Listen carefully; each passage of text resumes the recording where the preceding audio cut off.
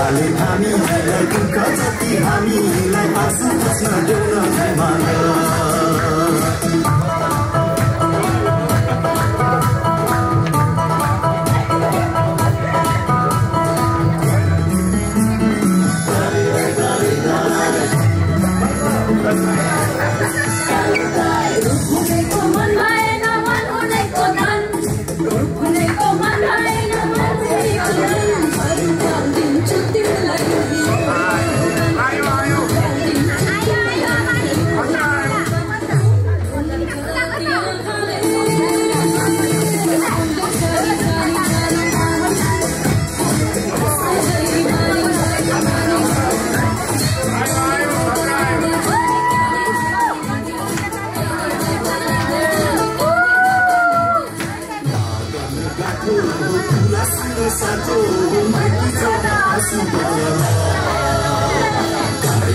तरकारी जाति खाएको सरकारी छुँदा तिमीलाई मनै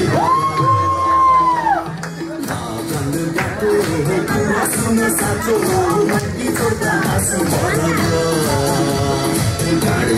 तरकारी जाति खाएको सरकारी छुँदा तिमीलाई मनै